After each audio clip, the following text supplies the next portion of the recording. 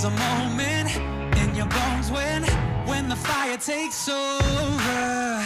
Blood is running, heart is pumping as the battle gets closer. They can say what they want now.